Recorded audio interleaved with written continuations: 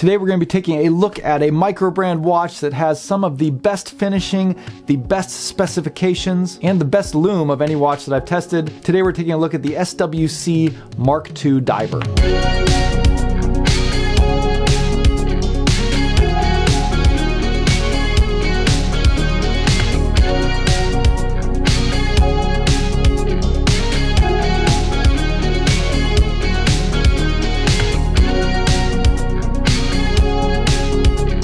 Hey guys, welcome back to Just the Watch. My name's Dave. I live in Japan and I love to collect affordable watches.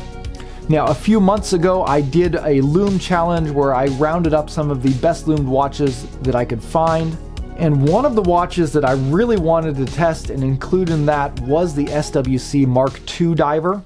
I had previously reviewed their Mark I diver, which had excellent lume, but I heard on the Mark II they actually increased it. So I wanted to get that one in here uh, for that lume challenge.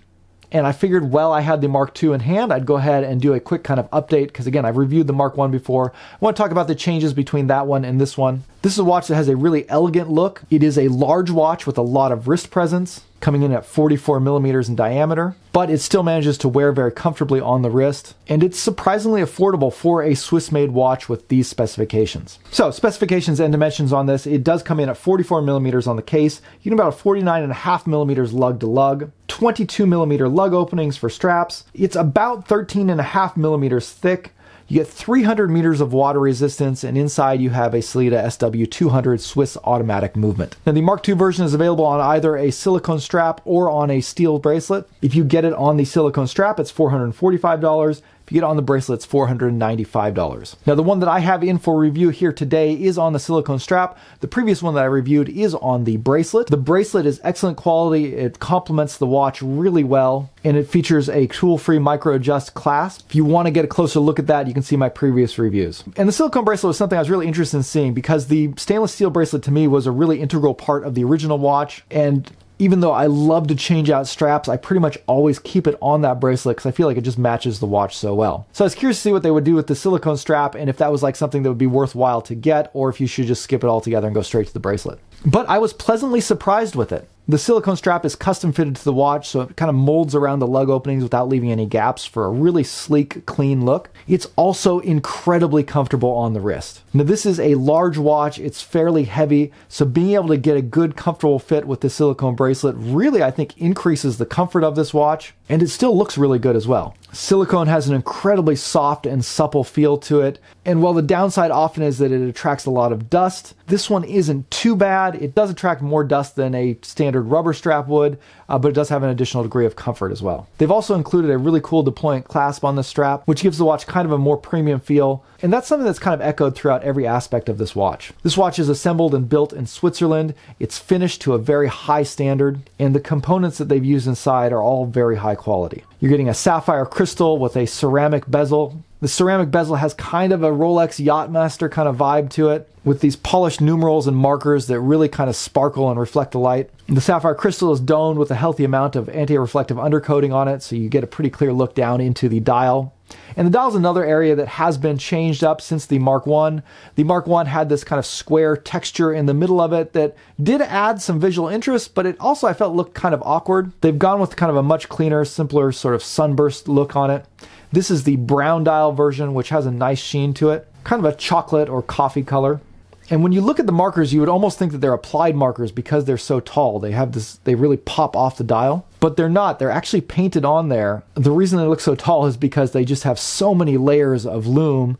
And this is Swiss Superluminova X1 grade lume. So, particularly the dial markings are some of the brightest dial markings that I've ever tested on a watch. And while the hands aren't as bright, they also feature a very heavy amount of this Swiss Superluminova X1, which gives you excellent readability after dark.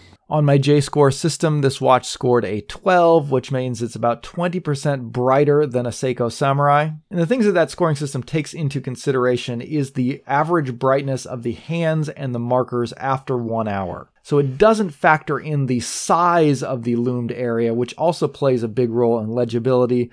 This watch has really huge lume plots, which makes it even more easy to read after dark.